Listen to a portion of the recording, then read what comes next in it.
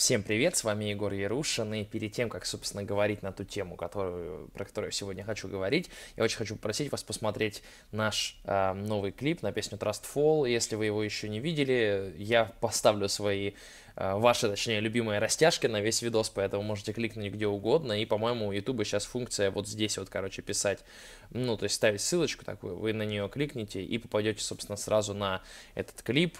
Для тех, кто смотрел уже, для тех, кто поставил э, большой палец вверх, написал комментарий, им огромное спасибо. Для тех, кто нет, для тех, кто пришел из-за названия вот этого конкретного видоса, скорее, скорее бегите туда, чтобы написать там, какой я завистник, как я ничего не добился. Э, ну, в общем, классическую вот эту вот вашу тему, ну и при этом создайте трафик, да, рейтинги, статистики там и так далее, как обычно. А большое вам за это спасибо и, собственно, начинаем. Да, э, начать это видео я хотел бы с того, что э, музыкальным элитистом я был не всегда, далеко не всегда. А буквально пару лет назад, в 2009 году, я слушал брейкдауны, я слушал такие группы, как Attack, э, я слушал Woe Is Me, э, я слушал, кто что там еще тогда был популярен, Abandonal Ships, по-моему, были популярны тогда. Вот эти вот э, танцульки, короче, с брейками, э, которые почему-то по непонятной причине э, начал кто-то когда-то называть пост-хардкором, несмотря на то, что как бы с пост-хардкором это вообще ничего общего не имеет. Но про это, я думаю, я отдельный видос запишу когда-нибудь. Вот, я слушал вот это вот все, но творчество группы Asking Александрии мне не нравилось никогда. Я не совсем уверен, в чем самая главная причина того, что оно мне не нравилось, но я думаю, что это было связано с тем, что э, вот я заметил на первом альбоме, который э, Stand Up and Scream, который я пытался действительно послушать и типа попытался полюбить, потому что, ну, все, конечно, просто сходили с ума по этой группе. Я помню там несколько песен, которые были прямо, то есть, ну, то есть там менялась гамма, например, посреди песни, для того, чтобы перейти на электронику, они полностью меняли гамму, и это звучало, типа, как-то ну, действительно, как будто сделали на коленке, как будто вообще не разбирались в музыке, а это при этом пацаны э, записывали альбом э, со Стюрджесом там. Также, конечно, главный сингл с этого альбома Final Episode, это, по сути, просто песня, то есть у которой настолько, настолько элементарная структура. То есть это песня, которую мог написать, могла написать моя сестра, например, которой на тот момент было, по-моему, 6 лет.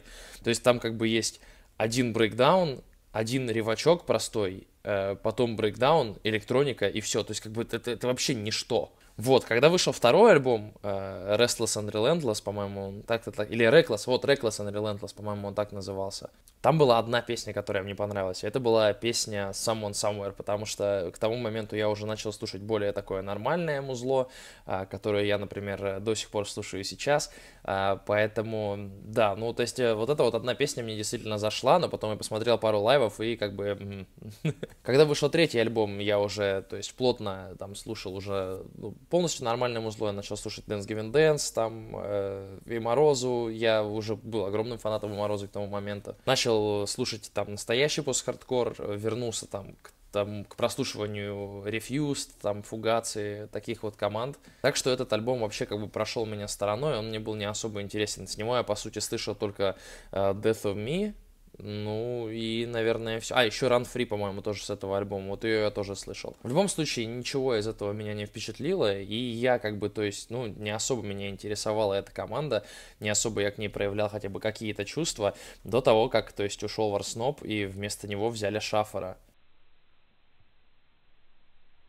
Да, с того момента эта группа, конечно, начала меня немножко интересовать, потому что, разумеется, у меня припекло из-за того, что тогда взяли Шафара потому что, ну, Шафар это автотюнчик номер один. Ну, в общем, короче, вы знаете, вы знаете мое мнение по поводу этого всего вопроса. Если вы его не знаете, напишите Ярушин Шафар просто в YouTube, и я думаю, что вы увидите очень много, короче, разных результатов, которые смогут ответить вам на все вопросы. Однако, Потом кое-что изменилось. Но перед тем, как я расскажу вам, что изменилось, я очень советую вам посмотреть, а, прочекать канал Вовы Вечного, моего хорошего друга, который как бы недавно мне очень, очень сильно помог. А, Вова, он видеоблогер, он делает, то есть, а, такой контент на злобу дня, рассказывает про какие-то Э, темы, которые, то есть, ну, о наболевшем такое, ну, короче, э, и остро-социальные темы, и музыкальные темы, у него, короче, все темы есть на канале, обязательно прочекайте, я думаю, что вам может быть интересно. Да, самая первая ссылочка в описании, Вова Вечный, у него, кстати, даже ролик с двумя миллионами просмотров есть, про то, как он сделал бассейн у себя в квартире, поэтому обязательно чекните его, вот. Так вот, э, как я уже сказал, во время первого альбома меня они не заинтересовали, во время второго альбома они меня не заинтересовали, во время третьего не заинтересовали, а во время, значит, Шафара, разумеется, меня не заинтересовали, потому что мне казалось, что это вообще альбом, который на коленочке написан.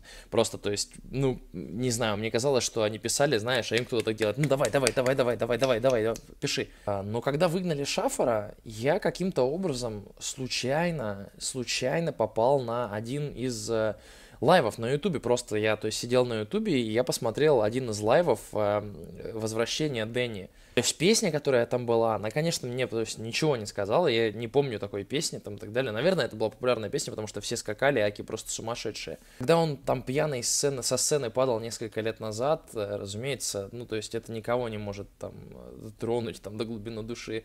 Когда он уже слушал там рок-н-ролла, они все еще играли металкор, и он начал, ну просто, ну на отъебись там, на, вот это вот делать вместо всего там, вместо всего вокала, вместо экстрима, вместо чистого.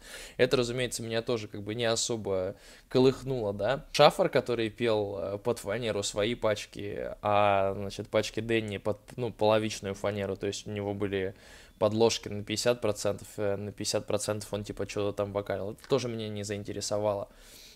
Однако меня очень сильно заинтересовало именно вот это возвращение Дэнни. Он прыгает, он экстримит, эм, то есть как будто вот все то, что он говорил насчет того, что вот, значит, типа то, что играет эта группа, это меня больше не интересует, я вот лучше кантри с американским акцентом буду играть, эм, как будто вот это все просто рукой сняло, и вот просто чувак вернулся домой. Это на самом деле это вдохновляет, э, это в каком-то в каком-то смысле вдохновило меня на то, чтобы подумать о возвращении Марины, например, возвращении к брейкам и к электронике, к тому, что вы называете его с хардкором. Я не знаю, я сейчас как раз думаю по этому поводу, я еще ничего не могу сказать точно, но э, да, и вот я уже слышу какие-то слухи, и их распространяют в основном паблике ВКонтакте, то есть русские или люди, СНГшники, короче, распространяют эти слухи, но я слышал, да, уже слухи, читал точнее о том, что якобы а, Дэнни вернулся только на время тура, потом он, значит, уйдет, они уже нашли какого-то из Австралии вокалиста нового, якобы это Бен сказал в каком-то там интервью,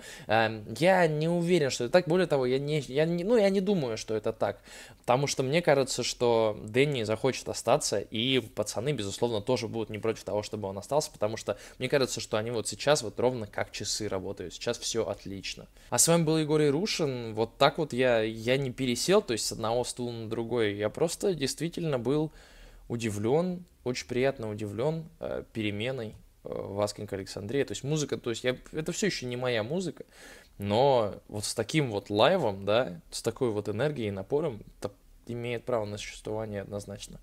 Ставьте большие пальцы вверх, э, подписывайтесь на канал, э, и да, пока.